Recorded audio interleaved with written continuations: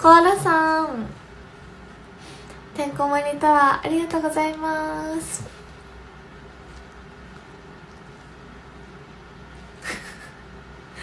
ありがとうございます。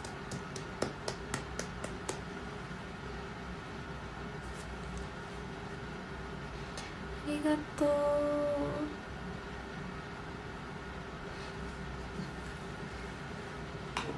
皆さんこんばんは。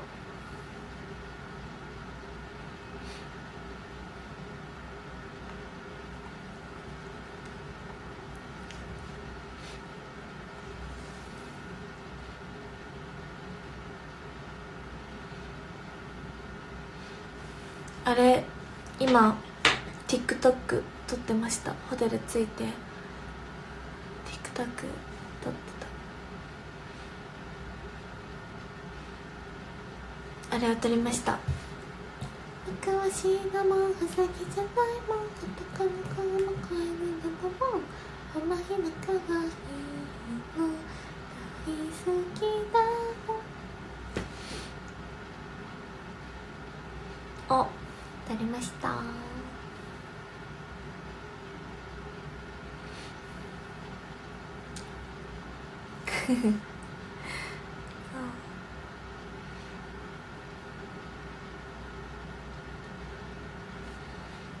あと今日キラちゃんとまいちゃんとあの TikTok 撮ったので それもいつか載せます。それ超お気に入り。それ本当にお気に入り。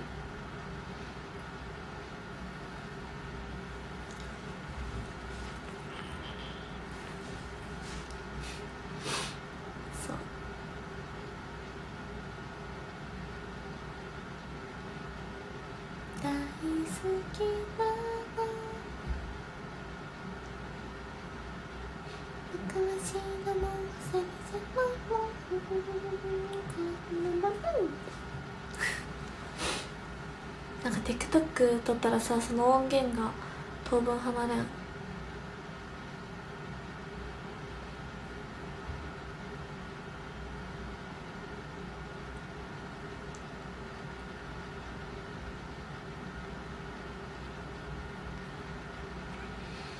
皆さん今日もお疲れ様です。今日はメールでも送ったんですけど結構屋外野外におっててか野外にしかおらんくって一日。ね。撮影してました。ちょうちゃん可愛いからタワー投げました。ありがとう。可愛くてよかった。ちょっとこのさちょっとうざい。うざくはないですよね。ちょっとこういうあの可愛いって言われた時にいつもの私のショールームだったら「ありがとう嬉しい」ってなると思うんですけど今さなんか可愛くてよかったみたいな言ったじゃないですか。これは完全にあのお話し会テンション。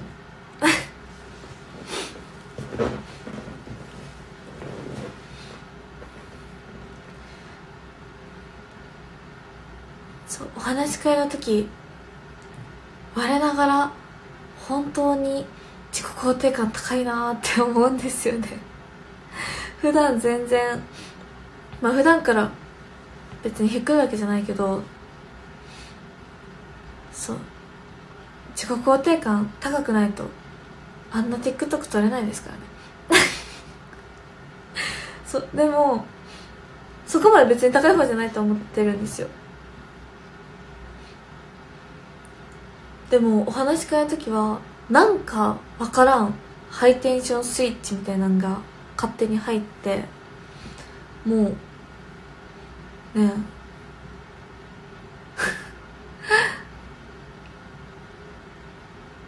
そう。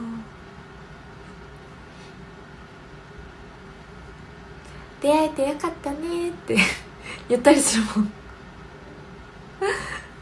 何十個も年上の。ファンの方に。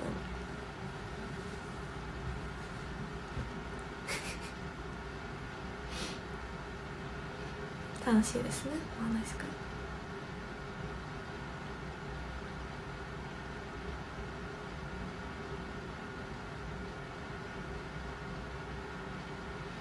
声もめちゃくちゃうるさくなるし。本当にそう。お話し会の様子は動画で撮れないか。確かにねちょっとお話し会の様子撮ってみようかな。リアルがいいな。じゃあ幕張だね。それそのチャンス逃したら当分ないけ。幕張で。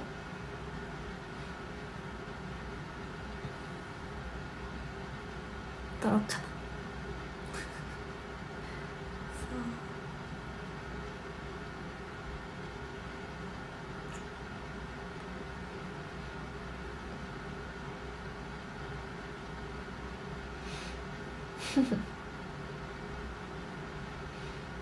基本自分好きな人しか来ないのもあるよね。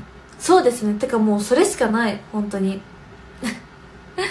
私のことを好きな人しか来ないって分かってるから。そうだから肯定感上がるのかも。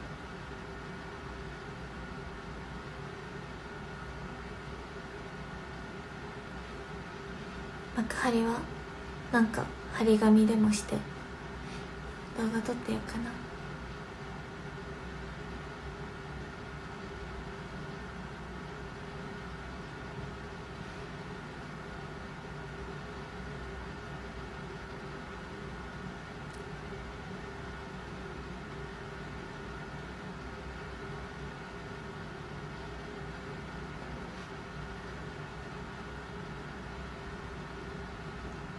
そう BLT さんに乗せていただきます。イエーイ。イエーイ。イエーイ。イエーイ。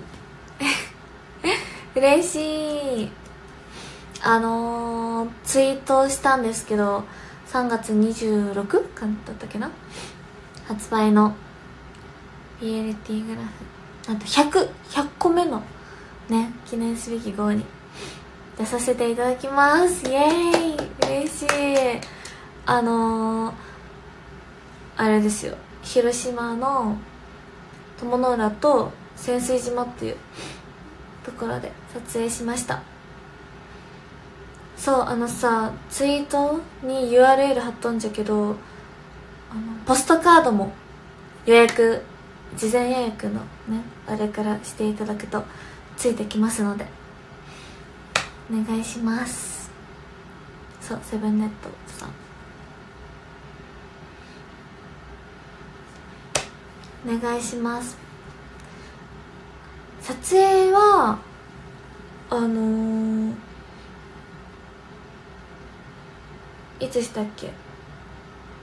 年末ぐらいで少し前なんですけどインタビューはもう超最近していただいたんですよ。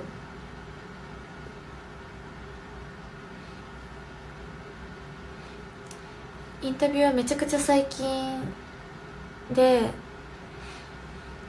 でそのインタビューすごい長文のねインタビューが出ますみたいな感じでなっとったんやけどインタビュー本当にねあのマジでインタビューされとる感覚なく喋りすぎとってなんか個人的に。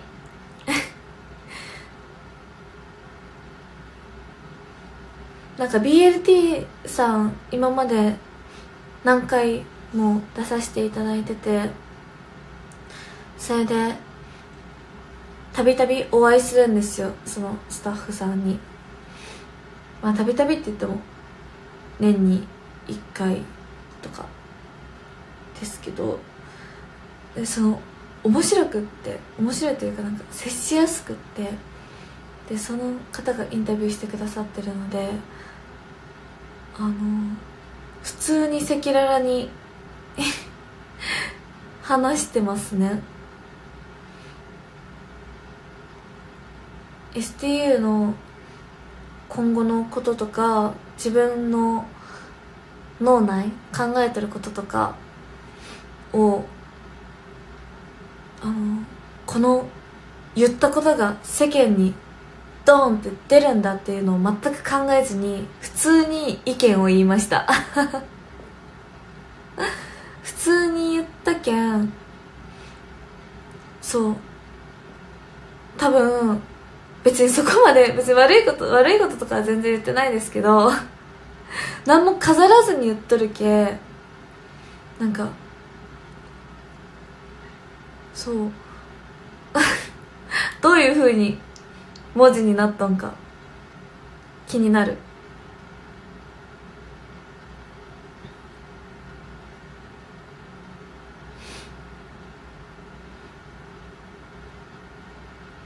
そうぜひ見てほしいですね。そしてぜひあのアンケートなども。よろしくお願いします。チェキも当たります。でやっぱ私は撮影がめっちゃ好きだなって思いました。撮影のお仕事グラビアの。なんかアイドルのお仕事さそのお話し会とかステージとかももう当たり前にめっちゃ好きなんだけど私こういうグラビアの撮影めっちゃ好き。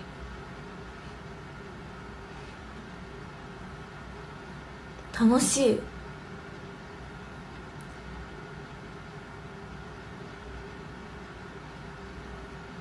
そう。なので皆さんよかったらアンケートもお願いします。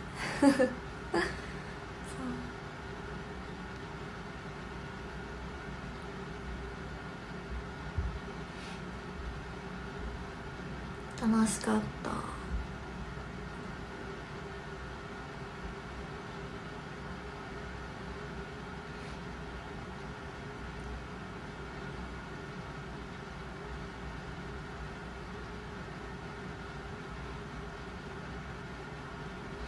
皆さんぜひゲットしてくださいな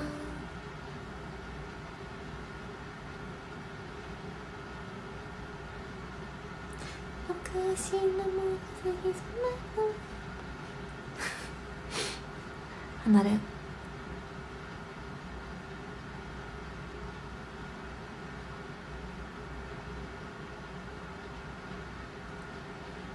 ろしくお願いします。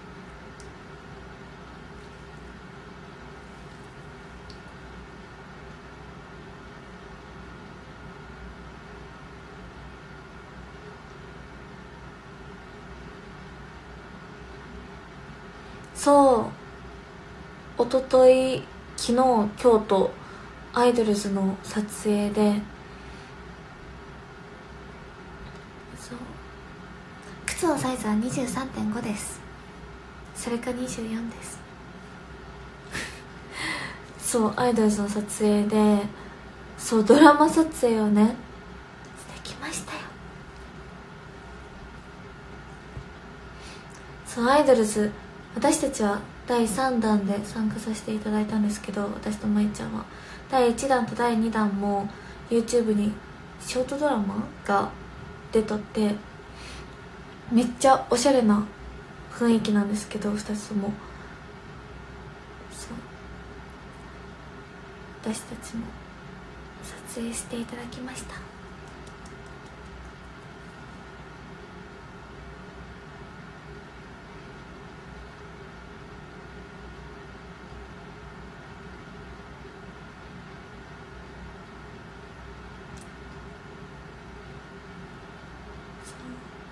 皆さんお楽しみに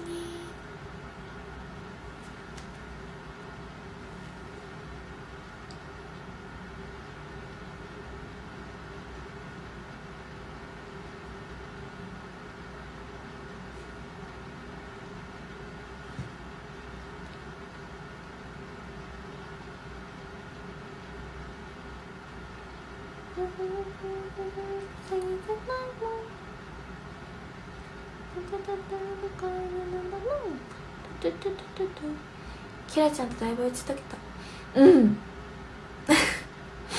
なんかその夏とかも舞台あったりいろいろアイドルズのお仕事一緒だったけん普通にてか初めて会った時から4人全員4人っていうか1人はもう舞ちゃんとだから全然あの打ち解けた仲なんですけどなっぴちゃんもめっちゃ喋りやすくてきらちゃんも喋りやすくて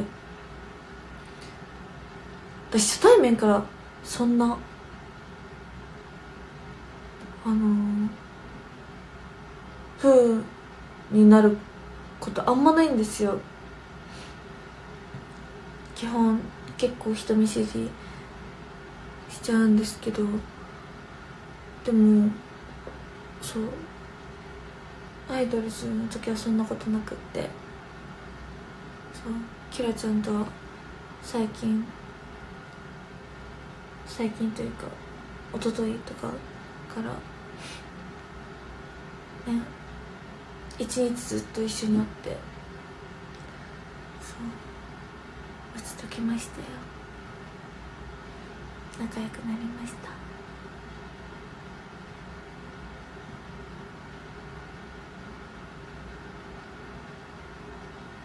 私こういうさあのー、なんかえ？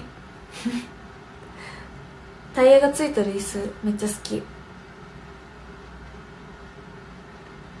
どんな話するの？本当に大爆笑したのはあのー、私と舞ちゃんがお互いの寝てる様子を写真撮ってるフォルダーがあるんですよ。そのフォルダーからお気に入りの あの写真をお互い見せてキラちゃんに発表発表会みたいな。そう。それにでめっちゃ笑いました。私も舞ちゃんもなんかいろんなとこで寝るしなんか寝てる姿が独特なことが多くて。そう。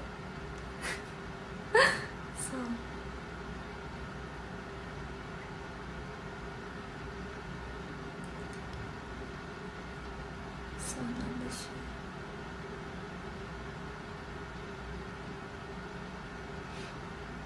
しかもなんかただベッドで寝とるのの寝顔とかならそんなみんなそれぞれあんま違わんと思うんだけど上向いて寝とるか横向いて寝とるかとかぐらいやけ。なんか舞ちゃんとは仕事の休憩時間とか寝とる瞬間もいっぱい撮れるけんいろんなとこで寝とる写真があるんですよ。なんかタクシーの中とかソファーとか。なんか何？床？とか。だからなんか場所も込みで面白かったりする。私合間のちょっとした時間だけそうめっちゃ姿勢がよく寝とったり女神みたいな感じで寝とったりそう。面白いんですよね。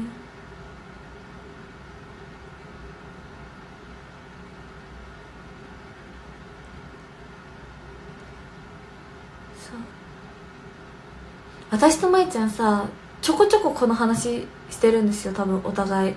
このカメラホルダーがあるっていうの。をでも1枚もまだ出したことなくて。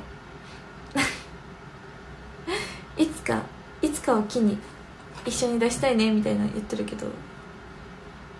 そのいつかはいつ来るのか。いつか。出したいなと思ってます。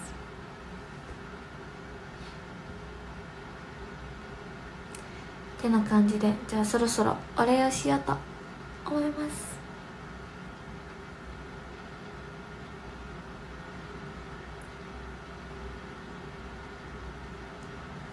と20位ひろろんさん19位生ハゲさん18位宮川和之さん17位エリオエリオルさん16位ヌルディンさん15位のりふみさん14位チャイコさん13位タカボンさん12位、えー、ビンゴの海賊さん11位ユージさん10位おいでませ元気さん9位カズキンさん8位シュロケンさん7位ミックさん。ラッキーセブン。えっと6位台湾のコウさん5位釣りケンさん4位ブルーさん3位グリオティーヌさん。スリースリー2位ゆりやぴーさんツーツー。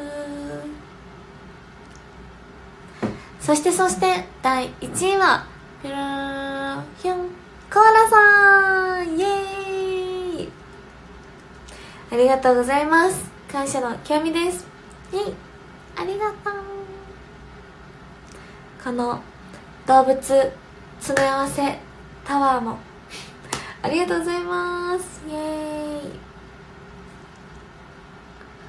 ありがとう。ということでお湯ためとこようかな。お湯ために行ってお湯ちょっと溜まってきて終わる。スクショタイムして終わります僕は死ぬ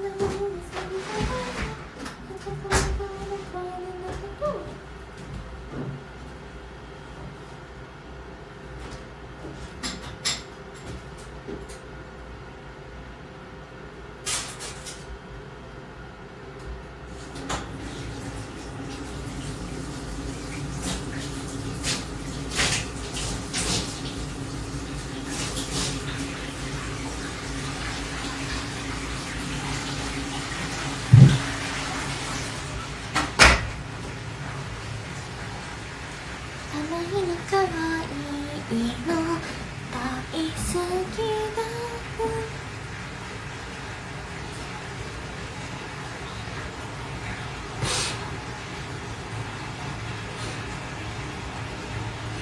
ということで。スクショタイム。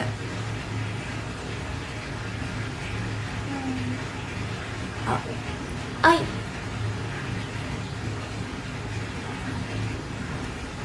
どお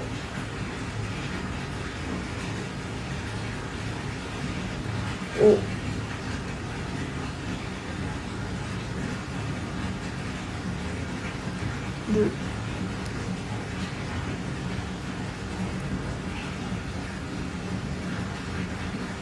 つ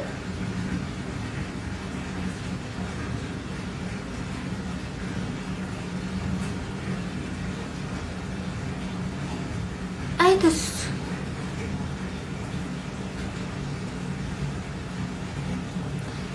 じゃあ告知というかをもう最後にもう一回してみようと思います。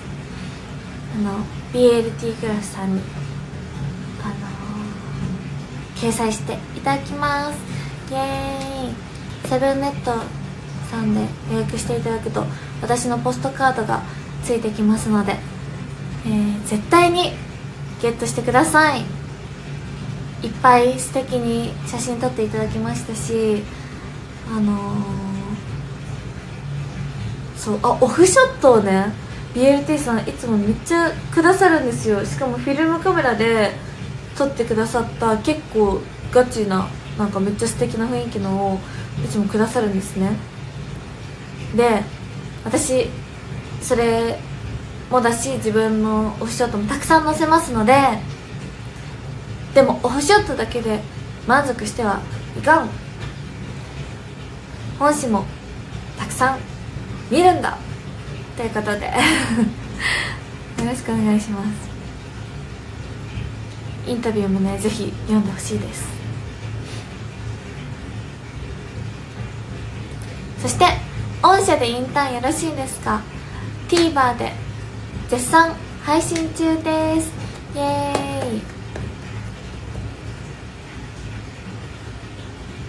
そう今日あの事務所の方のマネージャーさんで久しぶりに直接会うマネージャーさんだったんですよ。であの「御社でインターン見たよ」って言われて「えどうでしたか?」って聞いたら御社なんかちょっとね辛口なんですよいつも。その女性のマネージャーさんなんですけど仲良くて。で結構辛口ででも愛を込めて言ってくださるんですね。だからちょっと緊張しながら聞いたんですけど面白かったよって言ってもらえてそうめっちゃ嬉しかった。しなんか久しぶりに会ったら面白くなったねって。なんか面白くなってるって言われました。嬉しい。今日は家族みんなで見た。ありがとう。家族の団らんにつける番組にぴったりです。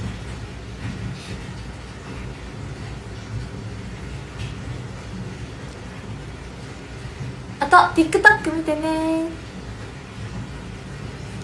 あとねあのー、ストーリーにメンション？違う。なんか引用リツイートみたいなやつでストーリー載せたんやけどアイドルズのカウントみたいなのがあるんですよ。キラちゃんのアカアイコンの。そう。それに結構いろいろアイドルズの動画とか出とるけんチェックしてほしいです。フォローして。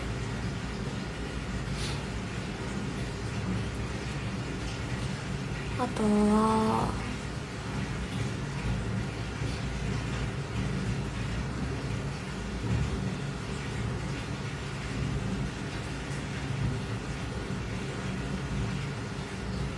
チャートリ公演 ありがとうございます。3月16日のピヨとサロピの生誕祭に出ます。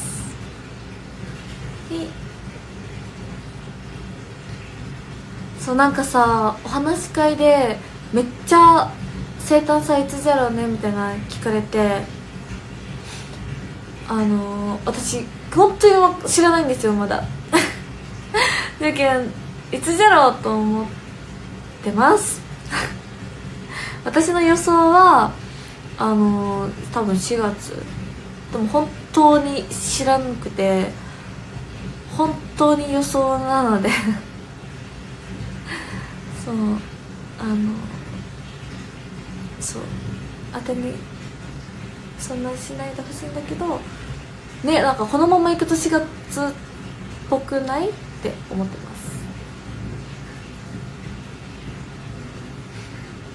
ね早く発表したいですね。だってみんな早くね分かった方がいいよね絶対。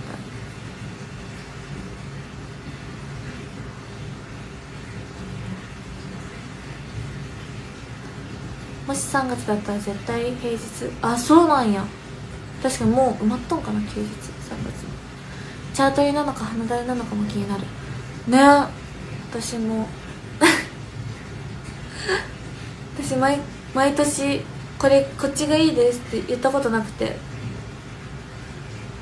なんかチャートリー公演が大好きだからチャートリーになってもめっちゃ嬉しいし16人公演になったら私の自慢のファンの方の声量をあの16人に聞いてもらえるって思ったら16人でもいいなって思うし花大公園どっちもねあの選べんけんね。どっちもいいけんね。そう。うんうん任せ。そう私の生誕祭本当にファンの方すごいんですよ。感謝。ということで終わります。ありがとうございました。バイバーイ。おやすみなさい。みんなお風呂に入って寝るんだよ。バイバーイ。